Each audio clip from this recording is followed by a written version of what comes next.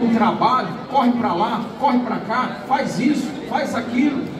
Aí você convida ela para vir na igreja e não dá, não tem tempo.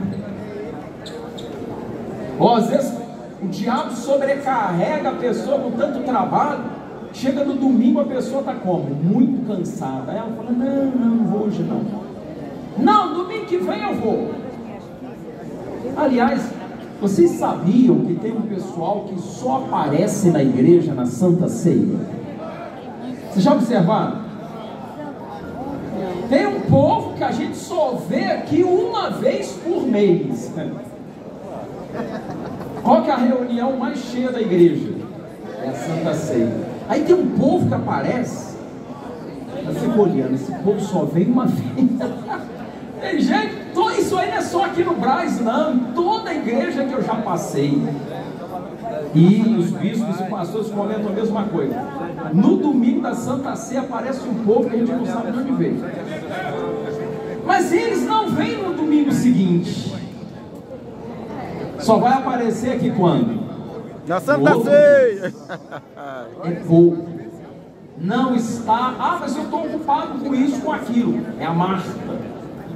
Amado fica assim, ó. Corre para lá, corre para cá, vai ali, vai não sei aonde. E olha, gente, e muitas vezes não resolve nada. Por exemplo, tem gente que perde a noite de sono, preocupado, aflito, e isso não resolve nada. nada. Muda nada. A única coisa que vai mudar é que você vai ficar com sono no dia seguinte. Porque não dormiu. Aí vai trabalhar com sono, hein? não produz direito, dor de cabeça, passa mal, pressão sobe, pressão baixa. Resolve nada não. Agora, estar aos pés de Jesus, isso resolve? Resolve! É o que ela falou.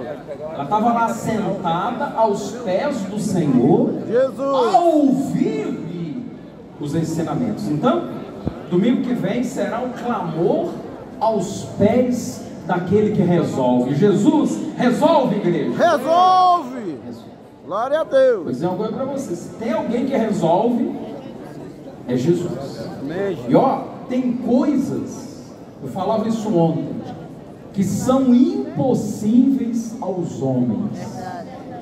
Tem coisa que é impossível você resolver. Nem você, nem ninguém. Olha lá. Mas ele respondeu: os impossíveis dos homens. Então existem as coisas que são impossíveis para nós. Verdade. São possíveis para Deus. Glória a Deus. Então tem coisas que só quem resolve, igreja. Jesus. Só Deus resolve.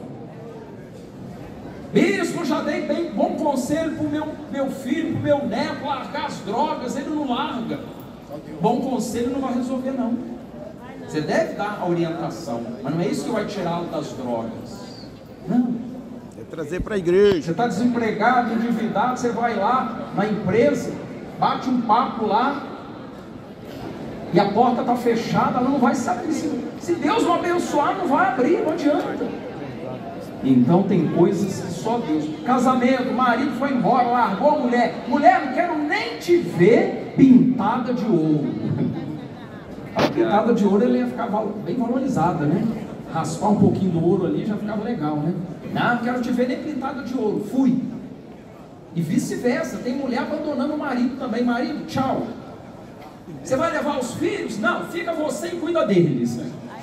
É, ainda tem assim agora, agora está assim. Antes a mulher saída levava os filhos, agora não. Os filhos ficam com você, se vira. Ah, mas se vira, problema seu, fui embora. Hoje está desse jeito. Eu fiquei com os quatro, bicho. E aí, como é que faz para ela voltar a gostar do marido de novo? É impossível. Ou o marido gostar da mulher? Impossível. Mas quem pode fazer isso, igreja? Deus. Deus pode fazer. Amém. Deus pode fazer. Amém, amém. Então vem para cá. Rua Carneiro Leão, 439, aqui no coração do Braz. Vem buscar a presença de Deus. Igreja, fica de pé todos. Fiquem todos de pé. Ô bispo, e o apóstolo? O apóstolo, ele está recuperando ainda, gente, porque vocês viram que teve uma maratona lá na África, começando em Moçambique concentração lá. Depois ele foi para Angola e lá durante todos os dias, né? Chegava a ser três, quatro vezes por dia. Ele fazendo imposição de mãos.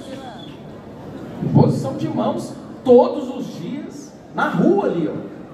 Aliás, a, a imposição começou quando ele chegou lá no aeroporto, né? E na rua lá, ele realizando imposição de mãos, olha lá as, imagens. Olha lá. Ele foi na rua lá. Em frente ao condomínio lá onde o bispo Rildo mora. Lá. Após estava lá, o povo ficou sabendo, ia para lá, ficava lá, lá, de noite, de dia, de manhã, de tarde, fazia imposição de mãos, passava algumas horas, já tinha outra multidão lá. Aí teve que fazer várias imposições de mãos. E no sábado, um batismo com milhares de pessoas. Milhares de pessoas no grande batismo. Olha lá as, as imagens, olha. Isso aí foi o batismo, sábado retrasado, né? Lá. Então foi bem puxado, ele está se recuperando, descansando, porque no domingo vai ter a imposição de mãos aqui, não vai? Glória a Deus. Então, ele, tá, re- É, ele e a bispa estão recuperando as forças e fraco, nós vamos forte. buscar a presença de Deus aqui, amém? E Deus vai abençoar muito a todos nós. Vamos adorar? Vamos adorar. Gente, deixa eu sempre isso. ó. Qual que é o segredo de agradar a Deus? Adorar. Adorar. É. Mas não adora com o retrato do marido no céu, não. gente. Deixa o marido dentro da bolsa. Deixa o que quer dentro da bolsa. Larga ele aí. Não, não pega cartaz nenhum agora. Daqui a pouco, nós vamos fazer um clamor. Aí você levanta a foto do marido, do filho, levanta o cartaz, faz o que você quiser. Nós vamos fazer um clamor daqui a pouco, da concordância. Vou concordar com você que você vai ser muito Abençoado. mas agora no início, não pede emprego, não. Não, só Vou adora. uma coisa para você: quem é o dono do ouro e da prata? Senhor Jesus. Quem é o dono do dinheiro? É o Senhor Jesus. Quem é o dono da saúde? Quem é o dono da felicidade e da paz? Então, se você agradá-lo com o seu louvor, ele vai te dar tudo isso. Em nome de Jesus, eu vou. Amém. Gente, vai ter pessoas sendo curadas no louvor. Amém. Na hora que você estiver adorando a Deus, você vai apalpar o nódulo, vai desaparecer. Você vai ver, peraí, sumiu. Vai ter favor. que tem, mas eu não vi. Não. Você vai ser tocado. Agrada a Deus, porque é Ele que dá tudo que você precisa. Amém. Então vamos adorar? Fiquem todos de pé. Vamos adorar. Bendito é o nome do Senhor. Oh. Aleluia. Aleluia, aleluia, aleluia. Santo, santo. Deus de maravilha. Tu és maravilhoso.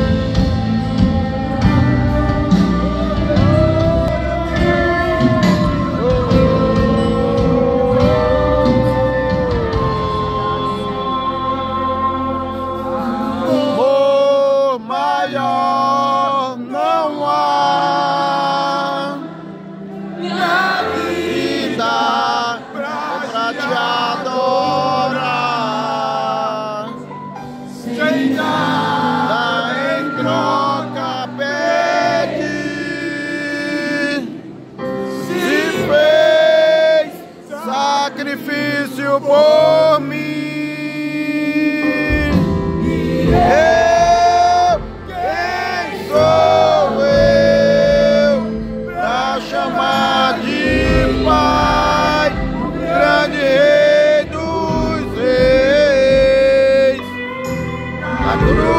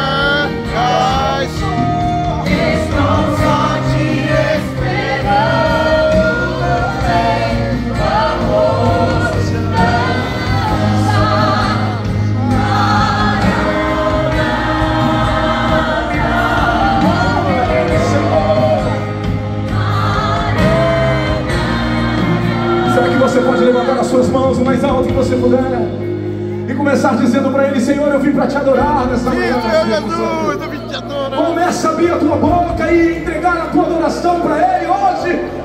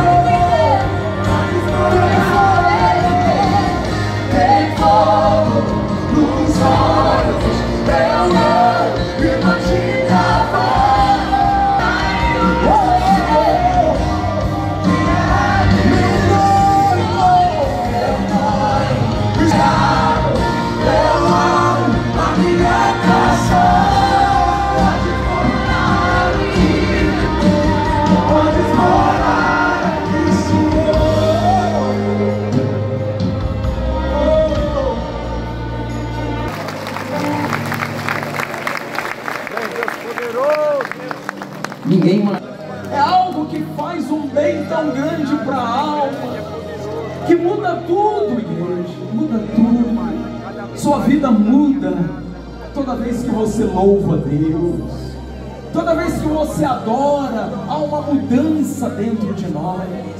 Ele vai lapidando, ele vai tirando o excesso, ele vai tirando a vaidade, o orgulho, a maldade, ele vai limpando você e nós vamos nos tornando semelhantes a Ele. Glória a Deus! Aleluia. Glória a Deus! Te adoro, te adoro, te louvo, te bendigo.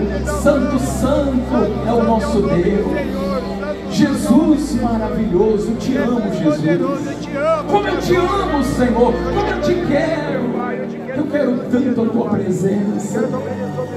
Eu quero tanto, Senhor, eu quero aprender. Há tanto a aprender. Igreja, temos tanto a aprender com Ele e Ele quer nos ensinar. Ele deseja que estejamos como Maria aos pés dele, a ouvir-lhe os ensinamentos. Há tanta coisa que Ele quer falar com você, que Ele quer revelar para você, coisas que o mundo não entende, coisas que o mundo não pode receber, porque não o conhece. Mas Ele revelou para nós. Ele Amém. está revelando para você agora. Glória a Deus. Amém. Ele está mostrando para você um outro mundo. Ele disse: Eu não sou deste mundo, deste mundo eu não sou. O meu reino não é aqui. O reino dele é no céu. Glória a E ele revela, porque o reino dos céus é chegado até você agora. Glória a O reino dos céus chega para você neste momento. A salvação está ao nosso alcance. Oh. Aleluia. Precioso Jesus,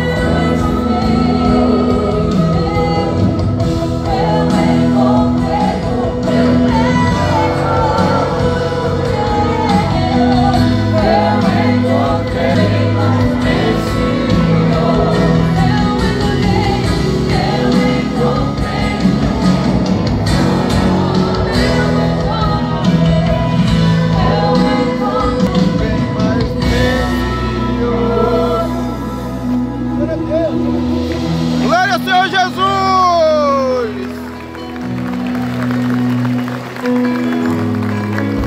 Aleluia, Senhor. Recebe aqueles que hoje, pela manhã, ao acordar, escolheram a boa parte. Escolheram estar contigo, Pai, na tua presença, no recinto da tua casa, onde a tua glória se manifesta. Amém. Onde a tua glória reina, meu Senhor. Amém. Glória ao Senhor Jesus. É maravilhoso, igreja, estarmos reunidos aqui no templo do Senhor para ouvirmos a palavra, para nos edificarmos e enchermos, enchermos o nosso coração da presença, da alegria, a alegria de ter um Deus tão grande, tão maravilhoso, um Amém. Deus tão tremendo e poderoso. Aleluia. Louvado o nome do Senhor Jesus. Glória a Deus. Adore ao único, ao único que é digno de receber, ao único que é digno de adoração, de louvor, de honras e de glórias. Aleluia.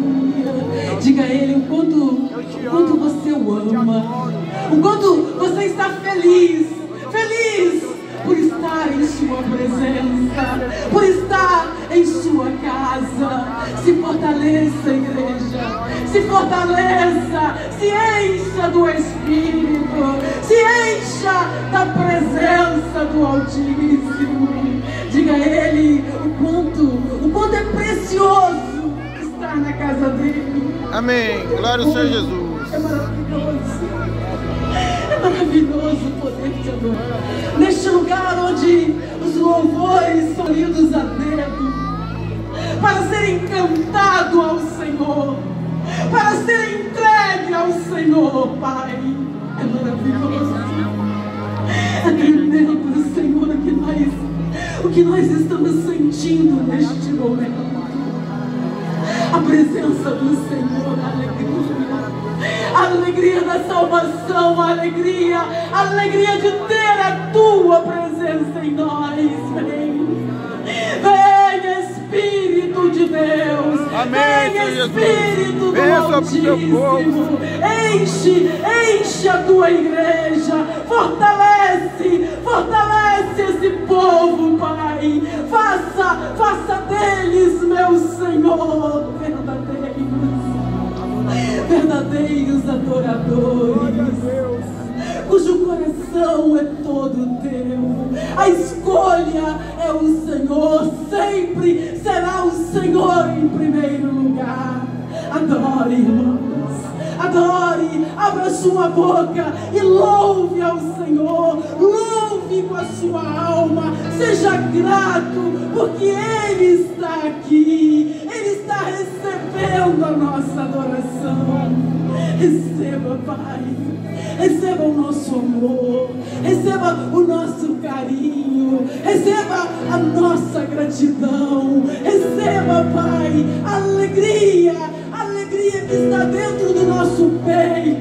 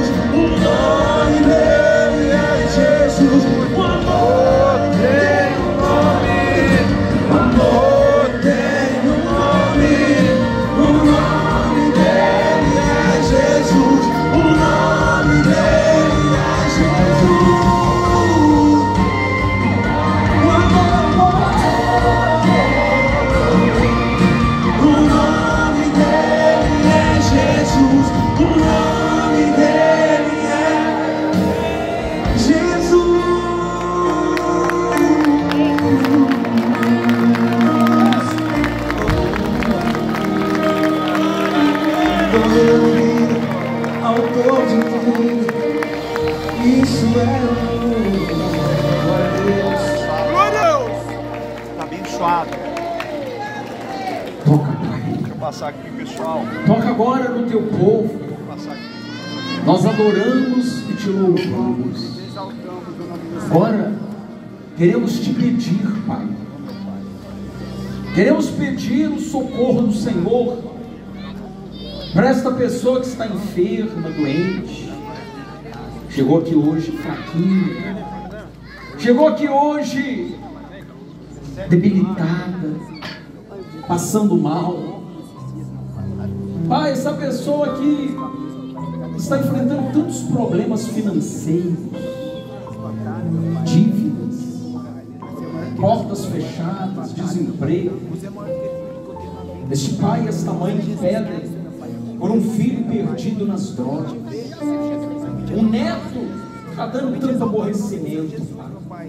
Toca com a tua mão agora. Igreja, Deus toca na sua vida agora. Amém. Receba saúde agora. Eu. Receba saúde, seja livre dessa Eu enfermidade. recebo saúde. esse nódulo, esse tumor, esse câncer. Seja livre agora da falta de ar, da bronquite, da diabetes. Seja livre da artrite, artrose, reumatismo. Deus entrega uma coluna nova para você agora. Juntas novas. Ele entrega saúde agora. Senhor, clareia a vista daquele que não está enxergando mais. Toca no surdo, toca no paralítico. Toca agora nesta pessoa, Pai, que está acompanhando essa programação. Lá do outro lado está doente, enfermo. Toca nela também. Toca nesta pessoa que está no hospital agora, Pai, acompanhando a programação, aguardando uma cirurgia se recuperando de um tratamento. Essa pessoa está desenganada, Pai. Está desenganada. Os médicos disseram que não tem mais o que fazer. Os médicos já chamaram a família para dar a notícia que ela não vai durar muito tempo. Mas eu sei que o Senhor tem a última palavra. Então, meu Deus, entra com providência agora. A boa notícia venha chegar para ela, Pai. A notícia da vida. Amém. A notícia da alta. A notícia do coma. Faz isso, Pai. Opera um milagre agora. Estamos no domingo da concordância. Amém. Glória a Deus. Concordando aqui agora Eu concordo plenamente. concordando a respeito do milagre, concordando a respeito da cura, concordando a respeito da prosperidade, da libertação dos vícios. Estamos concordando aqui, meu Deus, da restauração do casamento, da família. Move a tua mão, toca, toca, meu Deus, agora com o teu poder, toca com a tua força e vai libertando, quebrando os grilhões. Faz cair por terra agora todas as maldições, pragas, olho grande, inveja, a maldade vai caindo por terra agora. O mal vai sendo banido da casa dela, da família dela.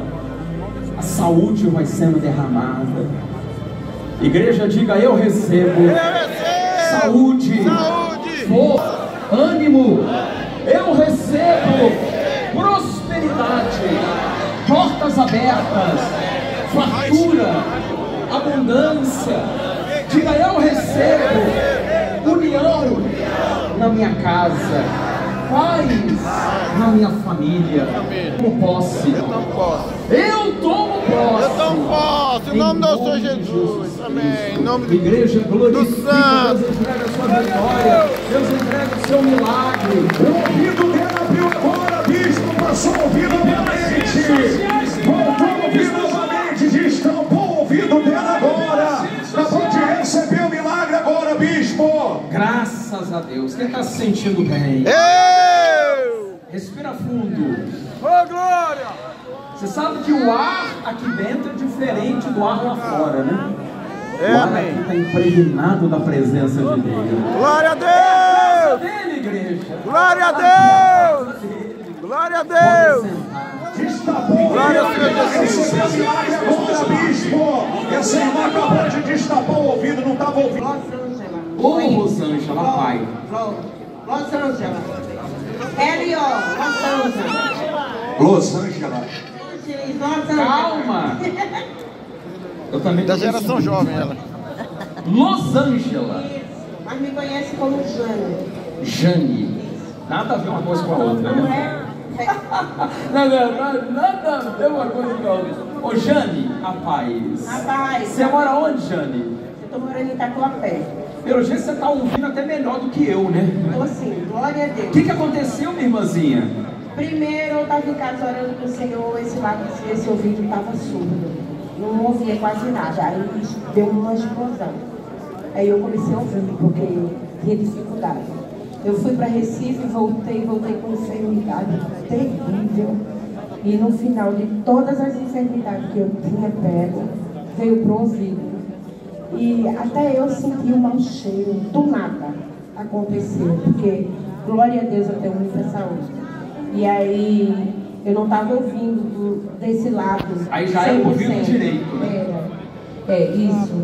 Aí eu comecei a ouvir, porque estava muito ruim. Ela dizia, mamãe, a senhora está falando muito alto. Eu disse, mamãe está meio surda. Então eu estou ouvindo, glória a Deus. Glória a Deus. Glória a Deus! É, a pessoa quando tá surda, ela fala algo mesmo. Que ela não ouve a própria voz. Aí ela tem que gritar. se mexer por causa do ouvido que estava doendo muito. Eu tentava cuidar, cuidar, cuidar e não passava. Aí, agora, durante o culto, durante a oração, ela estava chorando e ele chegou falando que já estava curada e realmente estava, para a glória do Senhor Jesus. Para a glória do Senhor Jesus. Fala obrigado, Jesus. Obrigada, Jesus. Traz elas aqui, glorifica. a igreja. Peraí, peraí. Antes de eu ir para as redes sociais, eu queria. O Tarzan? É o Marcos? Ô, Marcos. Vem cá, Marcos. Vem cá para dar a sua vida. A Jane falou assim: o Tarzan tem que. Ui, Cadê o sobrinho também? Vem o sobrinho também. Meu Deus, agora são dois. Daqui a pouco vem todo mundo. Mais o casal aqui também. Deus abençoe vocês. Quando eles vão chegando aqui, uma imagem aí da A Francileia recebeu milagre. Peraí, peraí, calma, deixa, eu vou chegar na Francileia. Mas é aqui, bispo. Ah, é aí? Sim, senhor. Essa que tá a imagem aí é a Francileia? Sim, Ô filhinha, rapaz, qual o seu nome? Eliana. Ô Eliana, o que, que aconteceu com a Francileia? Ela pegou bronquilite, ela ia ser entubada, mas eu pedi para Deus, clamei que ela foi salva de lá e saiu de alta. Gente, olha o que, que é fé. Essa Francileia aí, certamente o nome você colocou em homenagem à Bispa Francileia, não é Foi. isso? Não é? Aham. Mas aí ela ficou doentinha, Foi, ia ela ser foi, entubada. ia ser entubada. Aí eu clamei a Deus, joelhei na cama e pedi para Deus, para minha filha não ser entubada. Vocês são ciganos, né? Gente, os ciganos têm demonstrado uma fé tão grande. Tão grande. Jeremias Você vê, Deus 35. tem um plano na vida Fala dos dos ciganos. ciganos. Seu Deus Eu não abençoe. sei se você sabe, os nazistas, na Segunda Guerra Mundial, perseguiram os judeus, E os ciganos. levaram os judeus para as câmaras de gás, porque o povo judeu é o povo da promessa. Na verdade, aquele endemoniado ali estava tentando matar o povo da promessa. E entre os que eles perseguiam estavam os judeus, os, os ciganos. ciganos, também. era. Milhares de ciganos foram, Foram mortos. mortos nas câmaras de gás. Pelo aquele Mas sabe por quê? Porque. Deus já tinha um plano na vida dos ciganos também. O diabo sabia que os ciganos abraçariam a fé e estava tentando matá-los lá para que eles. Que coisa, né, gente? Filhinha, parabéns. Sua filha é linda. É linda. Esse, esse que está do seu lado é quem? Meu esposo. Qual o seu nome? Santiago. Ô Santiago. Vai. A filhinha é a Francileia, o pai é o Santiago. Que bacana, né? Não, Santiago, você confirma que a sua esposa está falando? Sim. A filhinha ia ser, ia ser entubada, né? Ia. Ia. Mas o médico dos médicos chegou primeiro, né? Gente, deixa eu falar uma coisa para você. Se você clamar a Deus, Deus vai impedir muita coisa ruim de acontecer na sua vida. Amém. Se eles não clamassem a Deus, ela seria entubada. E aí sabe lá o que, que poderia acontecer. Mas por que, que não foi entubada? Embora a situação fosse grave, clamaram a Deus. Qual que é o segredo? Não tem segredo. Se você clamar e buscar a Deus, Deus socorre. Parabéns, filhinhos. A filhinha de vocês vai dar muitas e muitas alegrias para vocês. Amém. Glória ao Senhor Jesus. Hein? Amém. Aonde? Ah, é, ali na foto tá a toalha dos 7 mil. Foto tá a toalha dos 7 mil que não se dobra. É isso mesmo, filhinha? Esse é o detalhe do Chico que viu lá. Eu não tinha visto, não. O Chico viu. O Chico tem olho de águia, né? Ô, glória. Filhinhos, Bispo, Oi. desde que ela era novinha, de um mês, ela sofria muitos problemas de saúde, sabe? Ela Uhum. ficou muito tomando antibiótico, muitas coisas fortes, entendeu? Toda hora tinha que ir pro hospital, tomar soro uma vez, estourava. qual a idadezinha dela? Agora ela tem seis meses. Gente, você vê, né? Seis meses, olha quanta coisa essa criança já passou. Mas agora, filhinho, daqui para frente vocês vão ver muita saúde na filha de vocês. Ela vai crescer forte, bonita. E como eu disse, vai dar muitas alegrias. Fala obrigado, Jesus. Obrigado, Jesus. Vem cá o casal, glorifica a igreja. Assistindo a terra, Hoje eu vou chamar A Jesus. Maravilhoso. Hoje eu vou chamar Jesus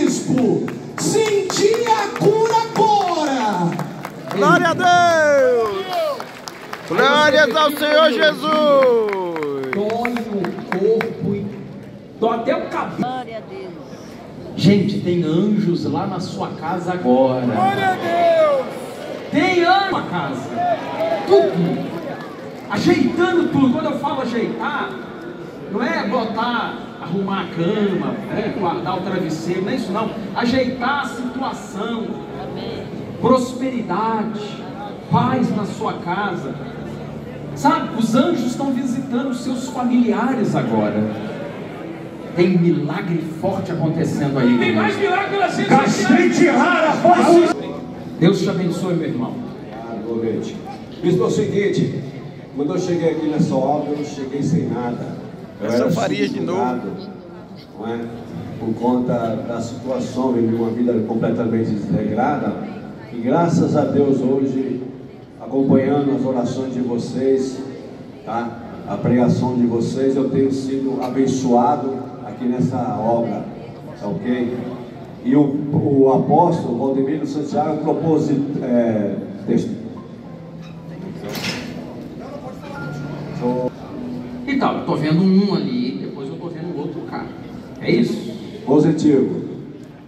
Esse aqui é uma conquista, esse aqui foi o que eu vendi semana passada, tá ok? E recebi o dinheiro, tá ok? E vim entregar os dízimos para casa do Senhor Jesus Cristo, a obra.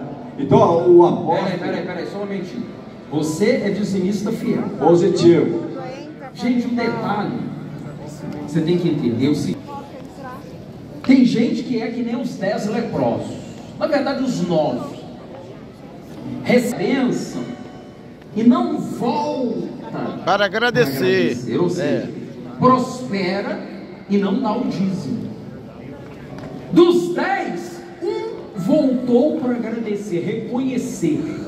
Amém. Quando você recebe o seu dinheiro, a sua renda, faz uma boa venda, ganha uma causa na justiça, etc. Aí você separa o dízimo, você está reconhecendo o que Deus fez por você. Aí o que, que Deus vai fazer? Ele vai continuar te abençoando. Você pode ver que o Farias vira e roda, está dando testemunho aqui. Por quê? Ele vai sendo fiel, aí Deus vai abençoando. Ele vai sendo fiel, Deus vai o quê? Abençoando. Abençoando. Então não toca no glória a dízimo. É verdade. A Bíblia diz que pesa uma maldição em quem toca no dízimo. Amém. A Bíblia fala com Malaquias. maldição Sois amaldiçoados. amaldiçoados. Olha que coisa. Porque a mim me roubais vós a nação toda. Ou seja, a nação, a maioria do povo, rouba a Deus. Por isso que você vê. Vou fazer uma pergunta para você. O Brasil é um país rico? É. Gente, eu estou para dizer que aí fora não tem país com tantas riquezas como o país. O Brasil, água à vontade, terra boa que tudo que planta dá, uma, uma diversidade de frutas, vegetais, uma fauna, uma coisa extraordinária. Mas o povo é pobre. O povo brasileiro numa luta danada. E olha que o povo brasileiro é trabalhador. Mas não prospera, sabe por quê? Porque a nação rouba a Deus. É verdade. Está escrito. Então, isso não quer dizer que você, por conta disso, vai ser amaldiçoado. Seja dizimista. E você vai ser a exceção. Seja dizimista e as pessoas vão ver uma diferença na sua vida.